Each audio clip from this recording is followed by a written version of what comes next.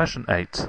The cumulative frequency graph shows information about the height of some hollyhock plants. Okay, and this is a cumulative frequency graph. Heights are on the x-axis and cumulative frequency, the build-up of frequency, is on the y-axis. Okay, so part A says find an estimate for the median height. Well, um, you're going to need your ruler, and if you just have a look here, how many plants are there in total? Okay, so here is the total number of plants, and if you just be really, really careful, you have to think about the scale. So this is going up in 2, 4, 6, 8, 70, 72, 74, 76, 78 and 80. So they're going up in twos, definitely. So 82, 84, 86, 88. So there are 88 plants in, uh, in total, okay? So in that case, to estimate the median height, now um, the median is where you put them all in order and it's going to be the plant that's in the middle, okay? So, so as there's 88 plants, we need to divide this by 2 um, to find the middle value. Okay, so 88 divided by 2 is 44. So that we want to find the height of the 44th plant. Okay, now as it's going up in twos, it's here.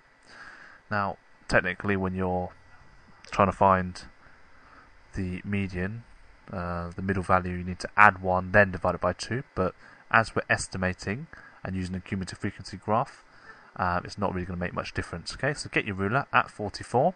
The 44th plant, we're going to estimate up to our cumulative frequency curve and down. And I'm going to say that is 83. Okay, so I think that the 44th plant is 83 centimeters. Okay, now this is worth one mark, and I'll have a look at the mark scheme to see what it says. So anything from 82 to 83 would have got you the first mark. Okay, so part B says work out an estimate for the interquartile range. Okay, so the interquartile range, we're going to need the lower quartile and the upper quartile. And then we're going to do the interquartile range where you do upper quartile, take away lower quartile, okay? So lower quartile is the first quarter of these plants.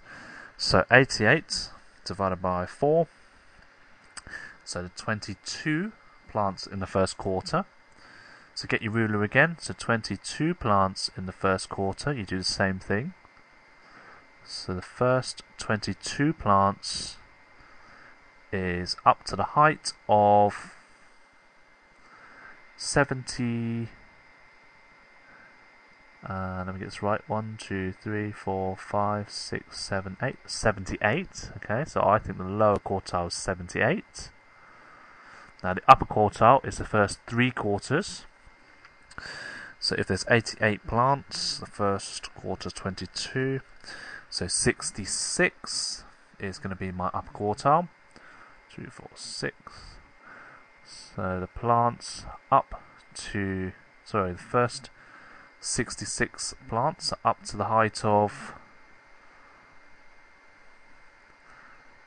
80. 1, 2, 3, 4, 5, 6, 7, 87. So my upper quartile is 87. Okay, so the interquartile range, interquartile range is 87. Take away 78. Okay, which is 9. So I think the interquartile range is 9. Now, Part B is a two mark question. Let's have a quick look at the mark scheme.